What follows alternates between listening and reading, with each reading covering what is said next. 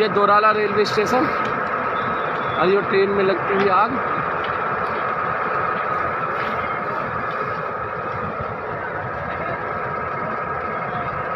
और हमारे मोन्टू भाई, लक्ष्मण भाई भी आग को देखते हुए और फायर ब्रिगेड पहुँच चुकी है आग बुझाने के लिए।